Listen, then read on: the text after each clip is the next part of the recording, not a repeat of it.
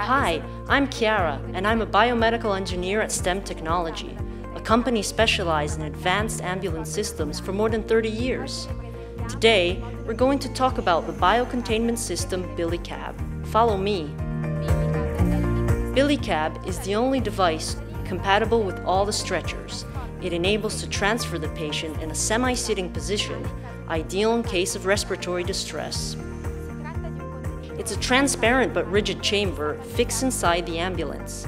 The structure is made out of materials that are highly resistant to shocks and chemicals. The device is made of a fixed filtration unit with controlled ventilation that creates a negative pressure, ensuring maximum protection for the operators inside a confined space like the ambulance, and, at the same time, maximum comfort for the patient.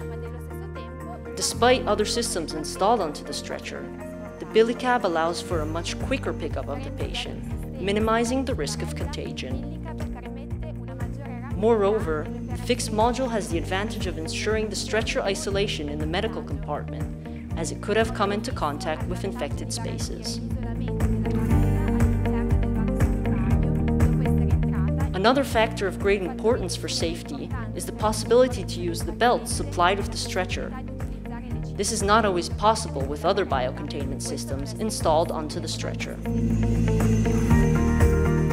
Billy-CAB has not eight portholes to assist the patient with gloves, to connect medical devices and to collect infected waste. With the Billy-CAB, the air reintroduced in the ambulance is purified in advance by passing through a certified HEPA filter with 99.995% filtration. The air exchange speed is automatically controlled and ensures the negative pressure corresponds to the preset value. Everything is monitored in real time and visualized on display with LED and alarms, showing the filter cleaning level and the remaining battery power. The two interchangeable redundant batteries ensure 12 hours of operation. Continue to follow us to stay up to date with STEM's latest news. Goodbye!